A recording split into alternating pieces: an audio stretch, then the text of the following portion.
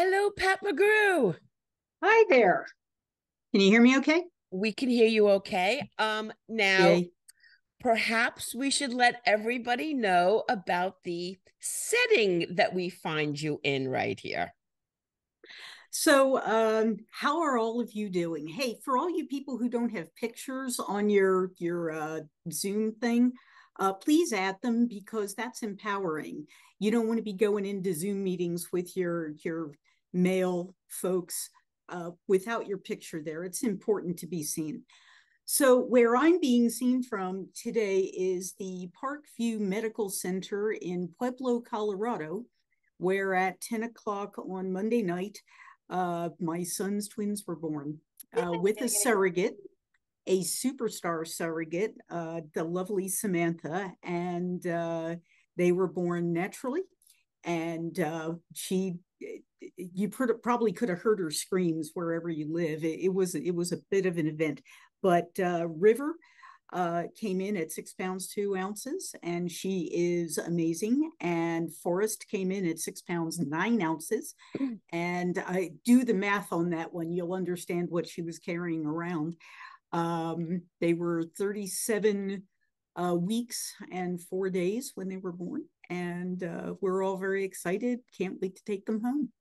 Well, I just want to obviously say congratulations. I have I lobbied and I campaigned to become an honorary auntie, and I think that I won that election. Yeah. So, um, but I just want to, I mean, obviously you are super important in my life and so is Jonathan. And this is just um, such an amazing day, couple of days. And I just want to thank you so much for, I mean, you had every reason in the world to say, I can't make it, but yet there you are in a hospital room, uh, broadcasting to, to everybody um, and um, it is why you were the first recipient of the Gurley Award. You um, continue to be a mentor, community leader, a, a, a uh, an educator, um, everything to everybody. So thank you, thank you so much. Um, and just to um, get into this conversation. Um, first of all, if you don't know Pat McGrew, you should know Pat McGrew. She's an industry legend um there's there's so much background i would just say go to her profile and and uh and connect with her or just uh we do a podcast the print report. Um she's a co-host she's like i said she's the manage she's the managing director of the mcgrew group and um, she's also um, now a co-founder of the Print University, along with Ryan McAbee, which we're going to be speaking about today. And to get us into that, um, I wanted to um, mention a interesting conversation that. Um, okay, let me just turn off Molly's video. Sandy, can you get that, please? Okay, I got it. Uh, sorry, Pat, you can still hear me, yeah? No worries. Yep, I got you. Okay, got you. Okay, um, so I was uh, recently at Labelexpo and I had a amazing.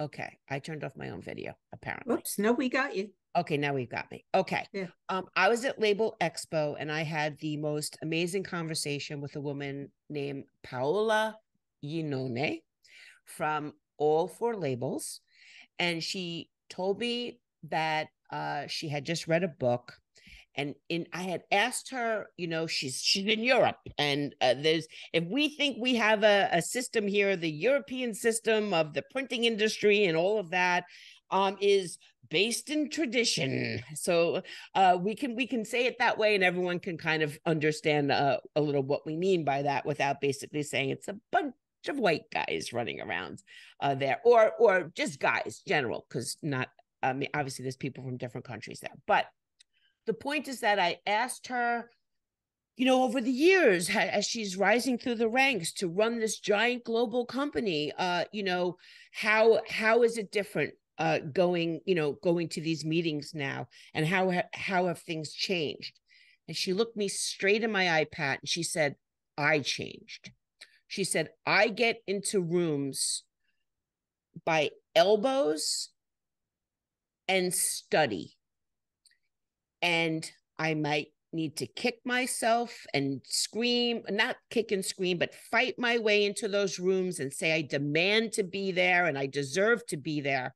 But I must be prepared once I am in this room. And I thought that that was the perfect segue to why the print university is on a stand your ground um, theme. But knowledge is power. I'm going to let you take it from there. It it absolutely is, Deb, and and you know I I think for all of us who've who've sort of climbed ladders, climbed them up, sometimes climbed down them, sometimes uh, did high wire acts between them. I think we a lot of us have done all of this. You know, I was a, a CEO of a software company in the 80s and 90s, and uh, at the time, whenever I would go to a meeting, my business partner was our our um, he he he was our technical guy, right? He was our chief research officer, and uh, we would go into meetings, and people would start trying to negotiate contracts with him, and he'd laugh, and he'd say, "You know, I I have no idea what you're saying. You need to talk to her," and and it happened consistently. Our biggest customers were Xerox, IBM, the largest healthcare companies, the largest banks, the largest brokerages, uh, the, the PSPs that serve them. And there was not a single time when we did not have to have that conversation with someone because the two of us would walk in the room and the assumption was that I was the secretary taking notes, right? I, I was the assistant. And um, that was not the case, right? That that was in no way shape or form the case. In fact one time when i was going into canada with him we were actually negotiating to sell the company because he had decided he was done being a uh, a software developer. And so we were going to sell to a canadian company. Uh, boy talk about turning your hair gray on that one. Um, so we're standing at customs you know where you have to tell them why you've come into the country and uh, so or you know we're here on business you know we're we're selling our company to a canadian company. And the guy looks at me and says well why are you here?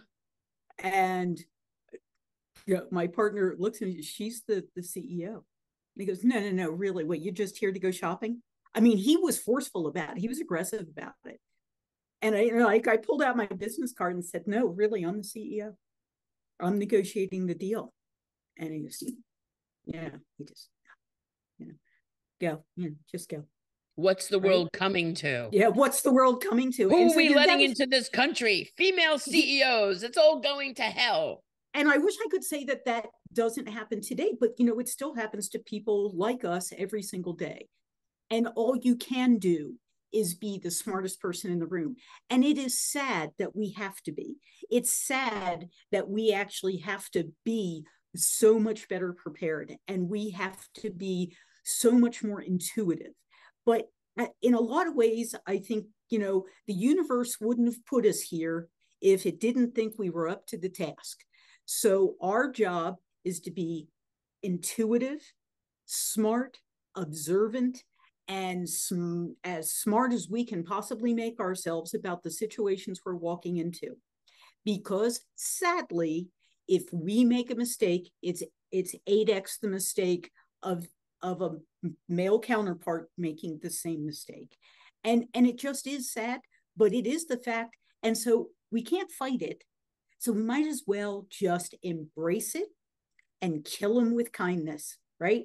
If we can kill them with kindness and we can be more intuitive and we can make those better decisions and help move processes along, that's the goal.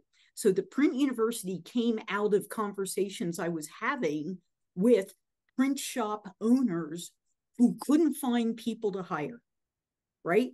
And for the last 10 years, Ryan and I've worked together. Uh, he used to work for me at Keypoint, and we tried to sell the idea of bringing that 001 level of education to the marketplace, to a diverse marketplace regardless of race, color, or creed, regardless of wind, wind, rain, sleet, or hail, you know, what could we put together that would empower somebody to be able to walk into a print business and be ready to learn the next thing they need to learn. Because what print operators were telling us is they didn't have good feeders anymore. They, they didn't have the vocational schools anymore. They didn't have the good feed systems. So people came in who might be really enthusiastic, but didn't know the difference between a toner device and a Heidelberg, right? They didn't know the difference between, you know, a cut sheet inkjet and a wide format printer. And if we can give them the vocabulary, we can give them just a view into everything, the words they need to understand and how they fit together, how print shops work, if we can give them a little bit of a heads up, then when they are ready to walk in that door, then they're ready to be trained. Because the hardest thing in the world to do is to train someone at a job if they don't even know what the words you're telling them mean. Can you imagine being, you know, a, a delivery from a from a temp agency you've uh, graduated from high school, maybe you got a couple of years of community college. Nobody ever told you what the word imposition meant. The, what you remember from your English English class is that imposition means you're being, you know, aggressive with somebody. And now we're trying to talk to you about imposition, and you're not even sure what you're supposed to do with that word. Ganging. Oh my God, that doesn't sound like a good thing, does it? Ganging up on people sounds like we're going to bully people. How do we bully wait, do we bully people in the print shop? No, we actually take a lot of little things and we gang them up. So the print university came out of a lot of those conversations. And I think one of the reasons we've been successful with it so far is because the organizations that that have been licensing from us have that same vision of empowering everybody we don't care if you're male or female. We don't care what your orientation is. We don't care if you're tall or short. We don't care what color your hair is. We don't care what color your eyes are. We don't care what language you speak. If we can help you, then it's better for our industry.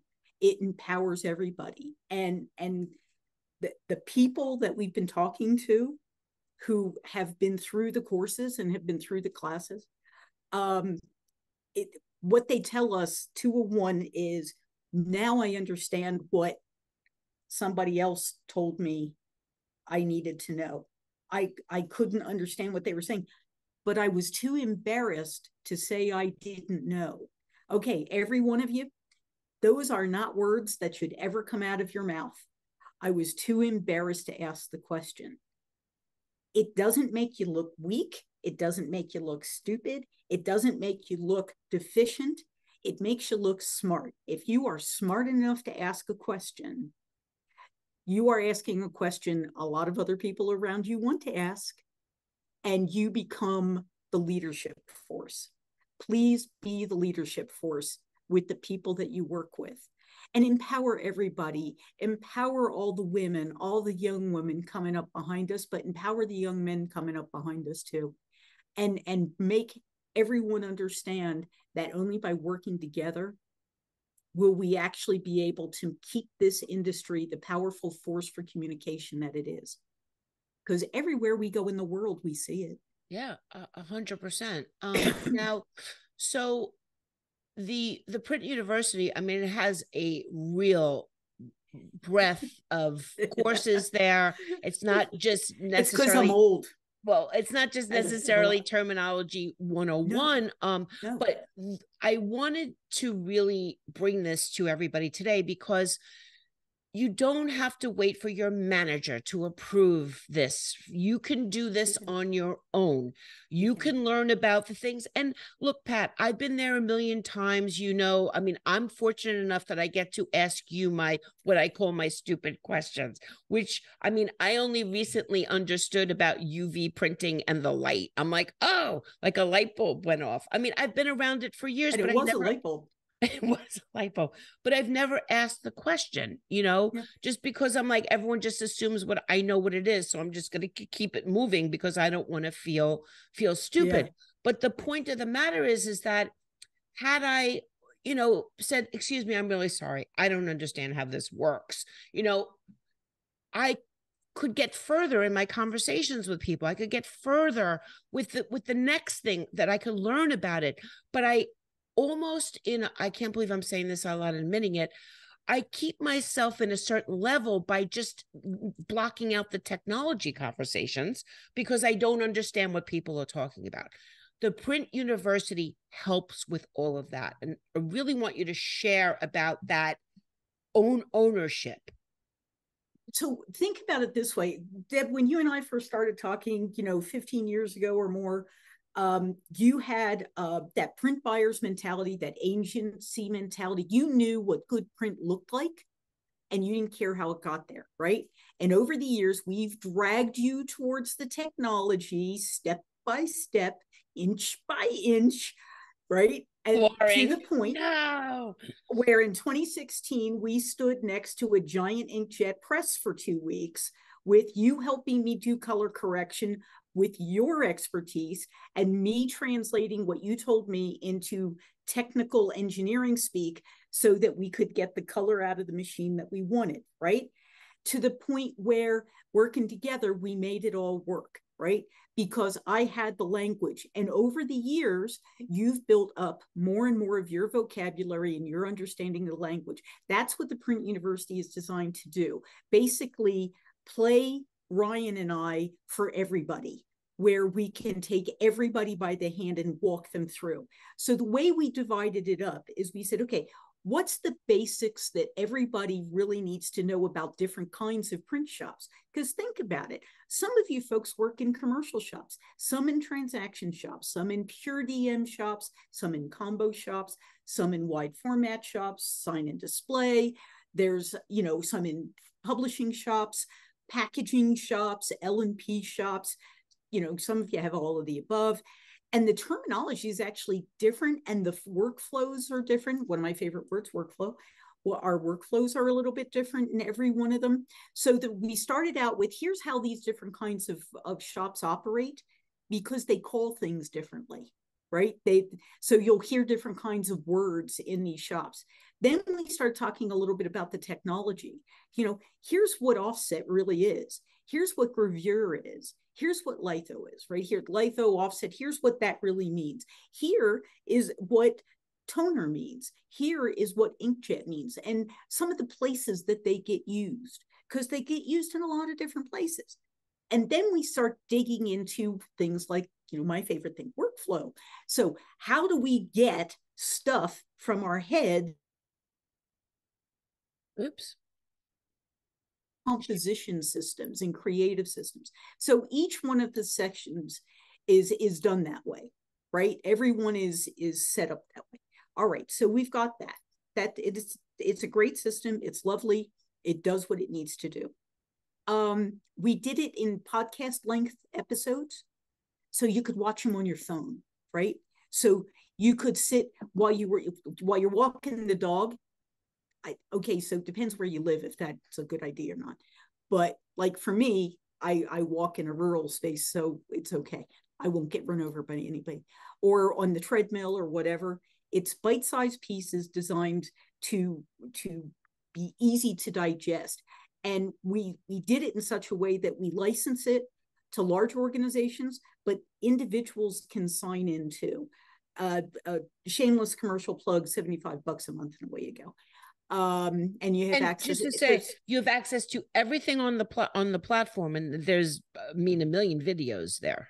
That there are uh, 63 and um, so there's a, a, little bit difference between the licensed version and the buy it by the month version um, because for our licensees, we do a little bit more. We give them quarterly market updates as well. You know, here's what's going on at the shows, here's what's going on in the market, here are announcements you should be aware of. Uh, and, and we also take requests. So uh, some of you may already have been through uh, what is called um, G, how are they calling it? GPU? GPU. So the Graphic Media Alliance is one of our licensees uh, through the folks at APAN. And uh, I was just with them on Monday, and um, they were uh, telling me, you know, so what they've done is they've taken our content and they've wrapped some quizzing and certification around it so that they're actually granting their members uh, certificates of completion for the different levels of the university, and they've done their own branding on it, and and we're delighted by that. We provide video content. We spent a year developing the initial set and now we add quarterly we already know what we're going to be doing for for 2024 we're going to be talking a lot about how to hire people and what characteristics to look for. So we'll be adding a lot of that stuff in but what they've done is they've now added certifications and quizzing to it. Some of our other association licensees have done the same thing. Um, some of our, our vendor clients have uh, wrapped it into their uh, learning management systems that are part of their HR systems, right? So that they can use it as well. So it, it's got a lot of variability. But the bottom line is the goal was to make education accessible to people who've been told it wasn't available right? I mean, right now, go ahead and try and find a university degree or a community college degree or even a vocational degree in printing, unless you're fortunate enough, enough to live near one of the very few universities that offer it. It's tough to come by. And yeah. it's hard to find apprenticeships. The really cool thing that Graphic Media Alliance is doing, they're actually partnering with uh, vocational schools that teach automotive um, engineering and and a lot of the the sort sort of technical trades, trying to recruit those people into the print industry, and then you sit them down in front of the print university, and they understand what the connection is, and we get a whole new workforce out of it. So that's kind of what we've been doing. Well, I just want to thank you so much for democratizing um, education um, and for making it accessible to everybody. Theprintuniversity.com check it out. Um, if if you work for an organization, suggest that perhaps they invest in education for everybody. I see I see sometimes come through the regional organizations in the U.S. They're announcing uh, that it's available to to their members. Uh, if you're a member of one of the regional organizations that does that, take advantage of it. And as always, uh, Pat, thank you so much for joining us, and congratulations on the twins, on the babies. Really.